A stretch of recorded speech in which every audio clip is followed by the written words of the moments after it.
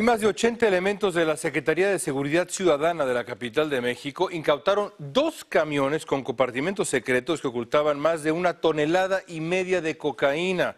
Las autoridades creen que la droga venía de Colombia. Desde la Ciudad de México, Alejandro Madrigal nos informa sobre este decomiso que es histórico. Los policías notaron que algo estaba mal en los pisos de estas plataformas de tráiler y al hacer la inspección descubrieron cientos de paquetes de cocaína escondidos en estos compartimentos. Del mayor aseguramiento de cocaína en la Ciudad de México y lo que representa un fuerte golpe a la estructura financiera de las estructuras criminales.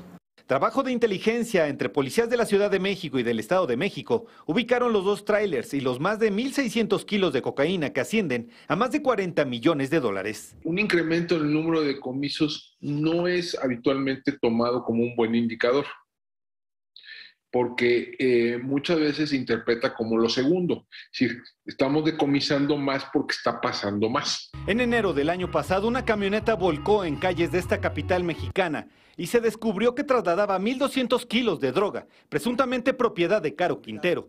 Y hace dos semanas, en un enfrentamiento, se detuvo a 10 integrantes presuntamente del cártel de Sinaloa, hechos con los que se habría rastreado la droga decomisada. Pero el destino final era Los Ángeles, una parte aquí en la zona centro, Cuauhtémoc, eh, Tepito, y la otra parte en Los Ángeles. En el operativo se detuvo a cuatro personas, todos del norteño estado de Durango, y la droga presuntamente estaría relacionada a dos grupos delictivos con presencia en Durango y Sinaloa. El cargamento tenía como destino estas peligrosas calles del barrio de Tepito. La droga venía de Colombia e ingresó por Oaxaca vía marítima. En Ciudad de México, Alejandro Madrigal, Univisión.